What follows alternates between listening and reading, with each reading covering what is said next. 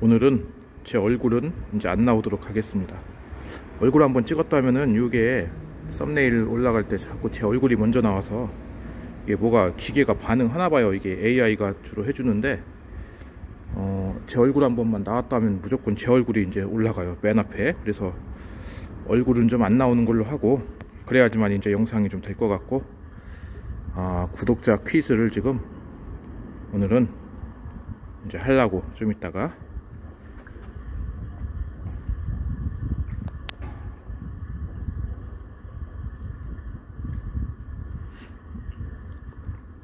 자꾸 트릭을 써야 되겠어요 사람들이 너무 잘 맞춰서 잘 못 맞추게 트릭을 써야 되겠어요 오늘의 구독자 퀴즈예요 여기 있는 그 잉어들의 음? 개수가 아니라 평균 연령 몇 살일까 이렇게 야 대박이다 씨. 여기 있는 잉어들의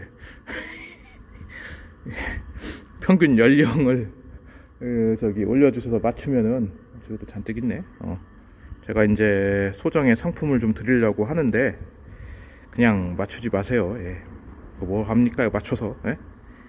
소정의 상품을 좀 드리려고 하니까. 근데 뭐 맞추지 마세요. 그냥 뭐 어떻게 알아? 평균 연령을. 물어볼 수도 없고. 예? 뭐 얘가 주민등록증이 있는 것도 아니고. 그렇잖아요. 어디 뭐 등록된 그런 것도 없을 테고. 그러니까 이제 일단은 아, 굳이 뭐 안 맞추셔도 될 것 같고 예. 음, 자 이쪽으로 사람이 가니까 따라갈 것 같아 이제 어이, 얘들은 보니까 그냥 뭐만 주면은 개랑 잉어랑 똑같은 것 같아 먹을 것만 주면 그냥 좋다고 쫓아가요 그냥 예, 먹을 것만 주면 아주 그냥 똑같아 예. 안 줬는데 준 줄 알고 또 막 왔다 갔다 이러네 음.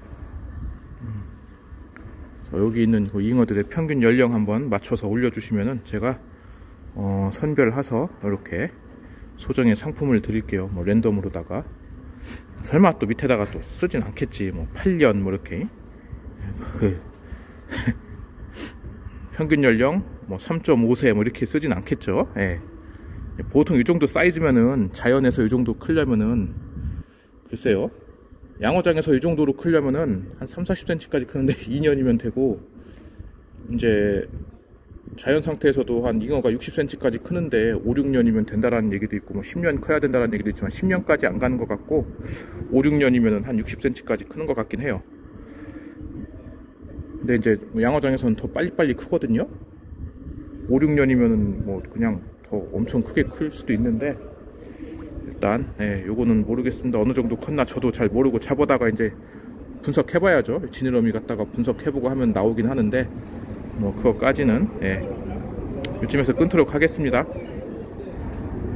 지금까지 홀리핑퐁맨 표범처럼 날아가 말벌처럼 쏜다의 성구였습니다. 구독 좋아요 부탁해요. 감사합니다